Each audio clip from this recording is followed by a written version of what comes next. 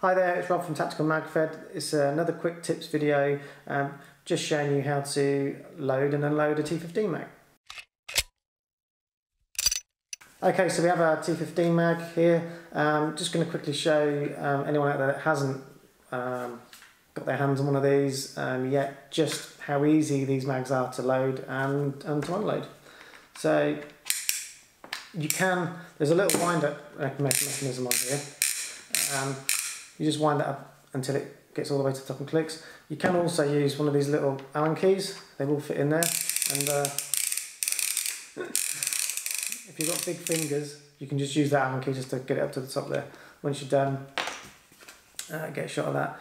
Um, so with the mechanism all completely wound back, you then just take your paint and literally just pop it in. Uh, there's um, not much tension on here at all putting these in, but if you want to hold the little tab down.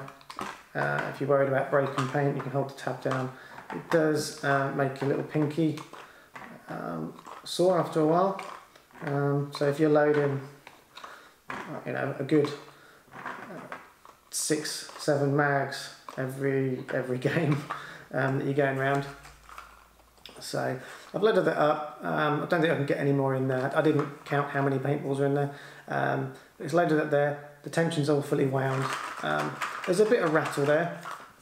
Um, if you're if you're um, conscious of the rattle and you want to try and reduce it, one of the tricks out there um, that I sometimes do, depending on uh, what the paint's like that day, the paint seems to be okay and it's not too brittle and breaking.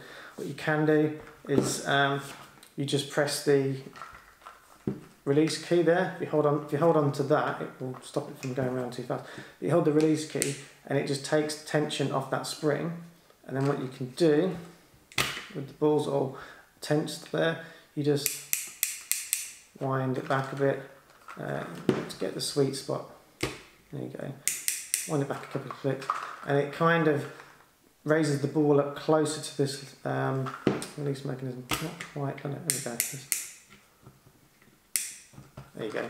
So I don't know if you can hear that, but it reduces that rattle, and there's it's on spring tension, but it's not it's not under tension. So that kind of reduces the rattle a little bit there. Um, no dramas at all. If you're um, at the end of the day and you've got full full uh, mags, and you want to unload them, again it's really easy with these. So you can activate the spring fully and they'll come flying out. But even if they're even if the spring's not activated, you just press the the the mini the release there. There you go, and they will come out. No dramas, they're not flying all over the place. Um, uh, that spring is still under tension, so you just put your thumb over there just release it off. There you go. So mags are loaded, unloaded, no dramas, no tanks broken. Uh, mag's good to go. You can just store that away, ready for the next day. Okay, so uh, thanks for watching the video. It's just a quick one um, for all those out there that uh, haven't had their hands on these mags. Um, thanks for watching. If you've got any comments, um, hit me up below. Uh, any questions? Um, other than that, thanks for watching. Hit that subscribe button and I'll see you in another video.